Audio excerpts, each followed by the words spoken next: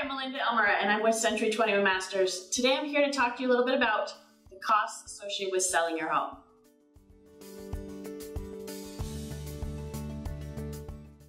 Hi, I'm Melinda Elmer with Century 21 Masters. Today here with Alicia Smith of Premier Services. And today we're going to talk about some of the costs associated with selling your home. Now, everybody knows about commissions, and that's usually one of the first questions people ask, obviously. But not a lot of people know about title and escrow fees. So I brought, invited Alicia to come talk with us today about what those are and explain what those different fees are. So what are escrow and title fees? What does that cover? Well, the escrow fee covers our department, which is the third party mutual party for all agent, lender, buyer, seller that's on the transaction.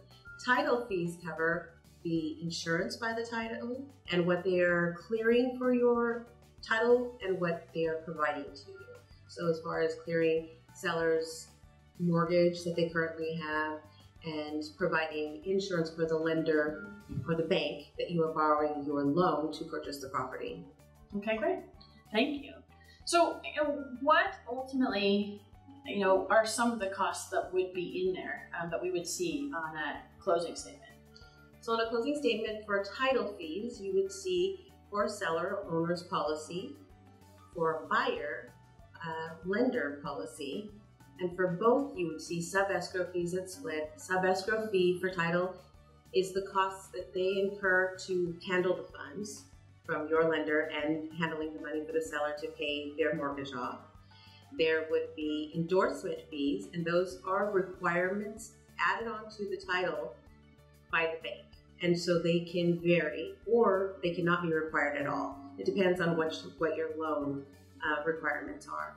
The other fees are messenger fees because uh, let's face it, everything needs to close ASAP. And so there are oftentimes for uh, private delivery service is brought in to messenger loan documents, to messenger title documents, so that we can get them to the county recorder and be recorded.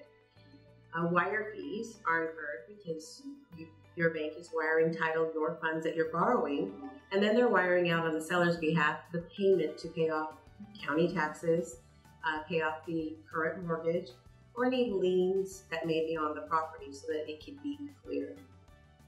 Uh, the transfer tax, that's another uh, fee that's on there, transferring from the owner to the new buyer. And every county has a transfer tax that's required to be paid. On the owner's premium, that's a title the a title charge to the seller. And on the new forms, uh, closing estimate statements that you see, the word optional has been listed there. It is not optional to pay it, but the option, we'll get into that just a little bit later. So basically, a lot of the costs are really coming from the seller's lender that they have right now, and you're just getting those costs paid for on behalf of the seller, correct? Correct. So there's not a whole lot that that can be done about it. It's just, it is what it is. It is what it is. And it's to their benefit because it's an insurance that's ensuring that your title is going to be cleared. And if something was not cleared or not caught at the time of your transaction, the title company would be responsible to indemnify you of that because you paid for it. Right.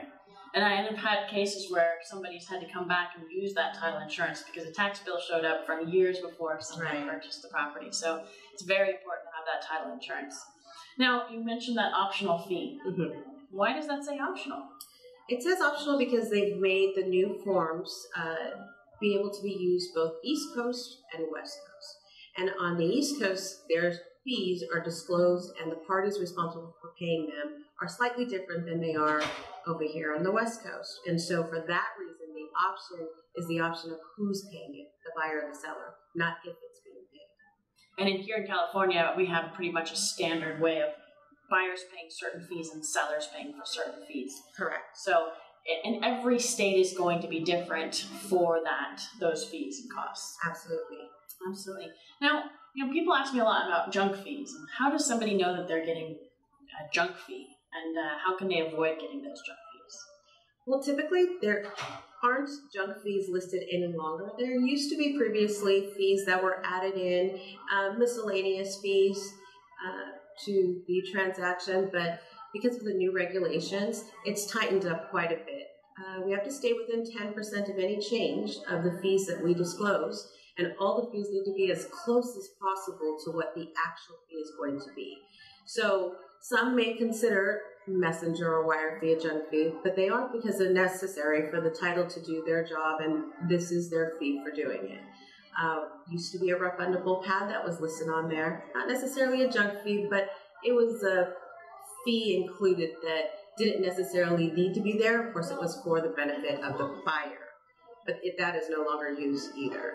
So there, there really isn't junk fees anymore listed on on the statements or allowed to be uh, disclosed to clients. Now, this regulation that she's talking about, they just uh, changed the rules last year.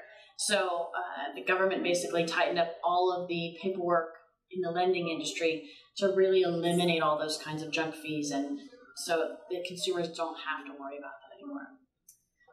Thank you so much for watching, and thank you so much for coming out to explain all of these things today. Thank you for having me. If you have any other questions, feel free to reach out to myself or Alicia. And Alicia can be reached at 949 383 5527.